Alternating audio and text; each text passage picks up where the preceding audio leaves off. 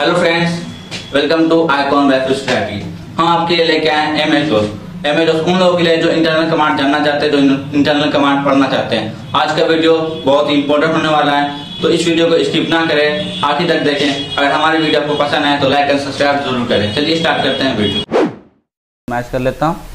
अब मैं इसका कलर चेंज करने के लिए मैं यहाँ पर टाइप कर रहा हूँ। Colour colour space F zero ये मेरा कलर चेंज हो गया। चलिए यहाँ पे हम सबसे पहला कमांड पढ़ेंगे कॉपी कौन तो कॉपी कौन क्या हम समझते हैं? कॉपी कौन यूज़ करके हम फ़ाइल बना सकते हैं, नए फ़ाइल को क्रिएट कर सकते हैं। फ़ाइल बनाने के लिए बेसिकली कॉपी कौन का यूज़ किया जाता है यहाँ पर तो मैं यहाँ पर आपको कॉपी कौन यूज़ करके बताता हूँ। मैं टाइप करूँगा कॉपी कौन कॉपी स्पेस कौन यहाँ पे हम फ़ाइल का नाम देंगे, कोई सा ही फ़ाइल मैं यहाँ पे फ़ाइल का नाम दे रहा हूँ, राम। इंटर करेंगे। अब यहाँ पे हमें डाटा रखना पड़ेगा। मैं यहाँ पे कोई भी डाटा रख रहा हूँ, Ram is a good boy Ram is a good good boy यहाँ पे हम सेव करेंगे जब तक हम सेव नहीं करेंगे, हमारा डाटा नहीं बन पाएगा।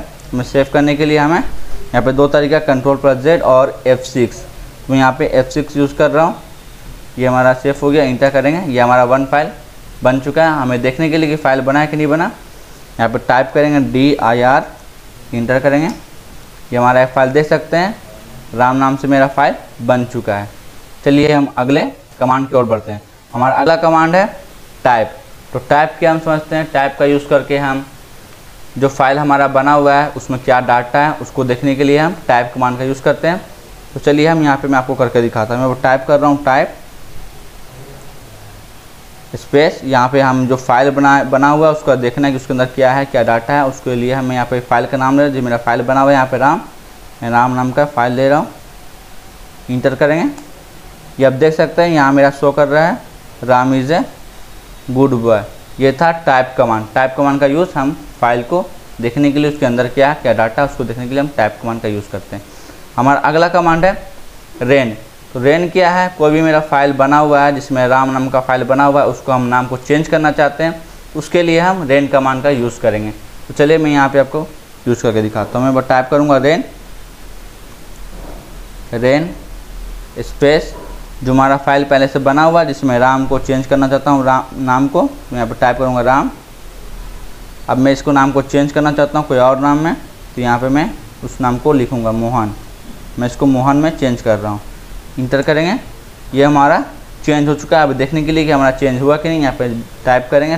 डी आई आर इंटर ये हमारा देख सकते हैं, यहाँ पे मेरा कोई भी राम नाम का फ़ाइल नहीं है। यहाँ पे मेरा सिर्फ़ मोहन फ़ाइल है।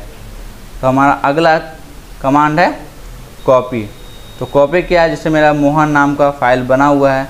अब हमें इसी को डुप्लीकेट बनाना है। तो हम कॉपी कौन का यूज़ करते हैं? कॉपी का यूज़ करते हैं। तो यहाँ पे मैं आपको दिखा रहा हूँ कॉपी का यूज़ करके। कॉपी स्पेस मोहन फ़ाइल बना मैं इसके मैं डुप्लीकेट बना तो मोहन लिखूँगा। मोहन इंटर करेंगे। ये हमारा हो चुका है। अब हमारा अगला कमांड है डेल तो डेल क्या हम समझते हैं? डेल का यूज़ करके हम कोई भी फ़ाइल हमारा बना हुआ है यहाँ पे, उसको हम डिलीट करने के लिए डेल के कमांड का यूज़ करते हैं। तो चलिए मैं यहाँ पे यूज़ करके दिखाता हूँ। डेल टाइप करेंगे डेल स्पेस अब हमें जिस फ़ाइल को डिलीट करना, उस फ़ाइल का नाम टाइप करेंगे। मोहन मेरा फ़ाइल बना, उसको मैं डिलीट करना चाहता तो मैं मोहन लिख रहा हूँ। मोहन इंटर ये हमारा डिलीट हो चुका है। अभी देखने के लिए कि हमारा फ़ाइल डिलीट हुआ है कि नहीं, यहाँ पे टाइप करेंगे डी आई आर इंटर अब देख सकते हैं, यहाँ पे मेरा कोई भी फ़ाइल मोहन नाम से फ़ाइल नहीं बना हुआ है। ये हमारा फ़ाइल डिलीट हो चुका है। तो हमारा आज का वीडियो बस यहीं तक। अगर हमारी वीडियो आपको पसंद आई तो लाइक एंड सब्सक्राइब करते हैं। मिलेंगे अगले वीडियो में। जय हिंद जय भारत।